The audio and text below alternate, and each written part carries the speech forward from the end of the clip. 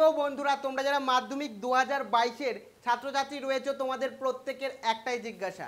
এবছর আমাদের প্রত্যেককে পাশ করিয়ে দেবে তো? অনেকের খাতায় অনেক রকম বিভ্রান্ত দেখা যাচ্ছে। অ্যাকচুয়ালি প্রত্যেকে কি পাশ করছে না? এই মুহূর্তে খাতা দেখার দরুন কোন তথ্যটা উঠে আসে, সমস্তটাই বিস্তারিত এই ভিডিওতে আলোচনা করব। ভিডিওটি ভালো লাগলে অতি অবশ্যই ভিডিওটিকে একটি লাইক প্রদান করো। আমাদের পরিবারের সদস্য না হয়ে থাকলে রেড বাটনে ক্লিক করে সাবস্ক্রাইব করার সাথে সাথে বেল আইকনে ক্লিক করে অল নোটিফিকেশনে ক্লিক করে আমাদের পরিবারের সদস্য হয়ে ওঠো। বন্ধুরা, সবার প্রথমেই তোমাদের জানিয়ে রাখি, তোমরা যারা দু হাজার মাধ্যমিক পরীক্ষা দিয়েছ, তোমাদের মাধ্যমিক পরীক্ষা অনেকের ভালো হয়েছে, অনেকের ক্ষেত্রে খারাপ হয়েছে, অনেকের মোটামুটি হয়েছে। কারণ এবছরের ব্যাপারটা তোমরা সকলেই জানো, এবছরের যে পরিস্থিতি, সেই পরিস্থিতির দরুন তোমরা ক্লাস করতে পারোনি সেরকমভাবে এবং তোমাদের ক্লাসও বা সিলেবাসও কিন্তু স্কুল শেষ করতে পারিনি। সেই দিকে মাথায় রেখেই তোমরা তার সত্ত্বেও অফলাইন পরীক্ষা দিয়েছ এবং বেশিরভাগ ছাত্রছাত্রীদের মতে ইতিহাস পরীক্ষা এবং জীবন বিজ্ঞান পরীক্ষা কঠিন হয়েছে এবং ইতিহাস পরীক্ষার তো কিছু কোশ্চেন সিলেবাসের মধ্যে থেকেই আসেনি, বহির্ভূত কিছু কোশ্চেন এসছে। সেখান থেকে কি নম্বর দিয়ে প্রত্যেকটা ছাত্রছাত্রীকে পাশ করিয়ে দেবে? তো এক্ষেত্রে তোমাদের প্রত্যেককে একটা বিষয় বলে রাখি। তোমাদের কিন্তু আগে আমি রীতিমতো জানিয়েছিলাম একটি শিক্ষক যিনি খাতা দেখেন, সেই ম্যাডামের থেকে জানিয়েছিলাম যে তিনি বলেছেন, প্রত্যেকটা ছাত্রছাত্রীকে তার চেষ্টা পাশ করিয়ে দেওয়ার এবছরের পরিস্থিতির কথাও তিনি জানেন। মানে শুধুমাত্র সেই শিক্ষক না, প্রত্যেকটা শিক্ষক শিক্ষিকাই কিন্তু জানেন।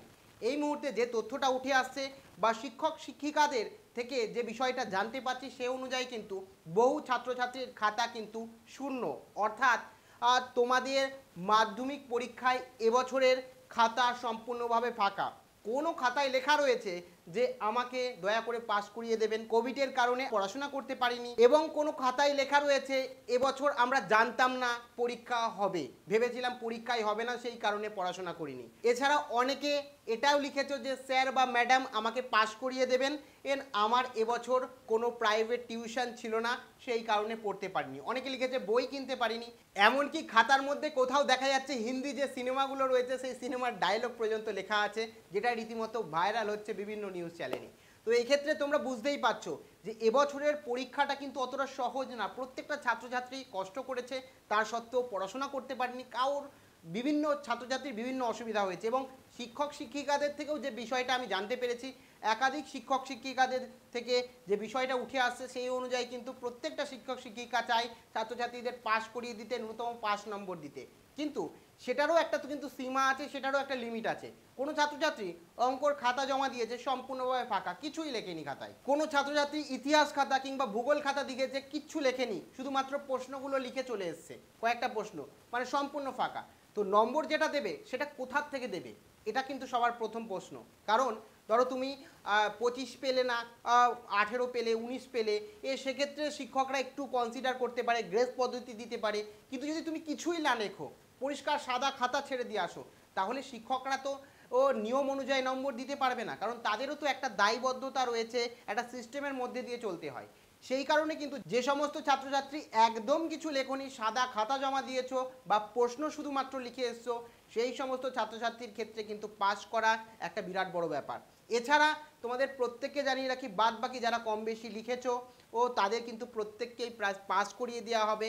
প্রত্যেকটা সাবজেক্টে একটু কম পেলে, এ সেইটা সেক্ষেত্রেও কিন্তু গ্রেস পদ্ধতি দিয়ে পাস করিয়ে দেওয়া হবে। আর এটা তোমাদের প্রত্যেকে জানিয়ে রাখি, এটা শুধু এবছরের না। বিগত কয়েক বছর আগে আমি একটা স্টুডেন্টকে রীতিমতো বলে দিয়েছিলাম যে, তুমি পাস করবেই না। তুমি পাস করতেই পারো না, একদম ডাইরেক্টলি বলে দিয়েছিলাম। কিন্তু কারণ সে তার অঙ্কের প্রতি কোনো ভীতি নিয়ে একটা অঙ্ক করতে দিলেও সে সিঙ্গেল একটা অঙ্ক ঠিক করতে পারবে না। তার সত্ত্বেও কিন্তু সে মাধ্যমিকের অঙ্ক পরীক্ষায় দু হাজার সতেরোতে পাশ করে যায়। তা তার মানে বুঝতেই পারছ, বিগত সময়েও কিন্তু গ্রেস পদ্ধতি দিয়ে মানে পঁচিশ পঁচিশ পেয়ে সব বিষয়ে পাশ করিয়ে দেওয়া হয় মানে যতটা দেওয়া সম্ভব। কিন্তু তারও একটা লিমিট আছে যেটা বললাম, যে সাদা খাতা জমা দিলে একেবারেই হবে না। সেই কারণে যারা মোটামুটি লিখেছো, তাদের চিন্তা করার কোনো বিষয় নেই। তোমাদের প্রত্যেককে কিন্তু পাস করিয়ে দেবে।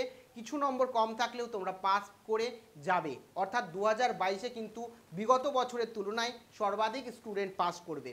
কাজেই যারা কম বেশি লিখেছো, তাদের চিন্তা করার কোনো প্রয়োজন নেই। এছাড়া ইতিহাস পরীক্ষার ক্ষেত্রে তো এক্সট্রা বেনিফিট তোমরা পাবেই যে কোশ্চেনগুলো সিলেবাস বহির্ভূত করা হয়েছিল, সেই কোশ্চেনগুলোর ক্ষেত্রে বা যেগুলো জটিল হয়েছিল, এত প্রশ্ন উঠেছে, সেই কারণে ইতিহাস পরীক্ষার ক্ষেত্রে এক্সট্রা সুবিধা কিন্তু ছাত্রছাত্রীরা পাবেই।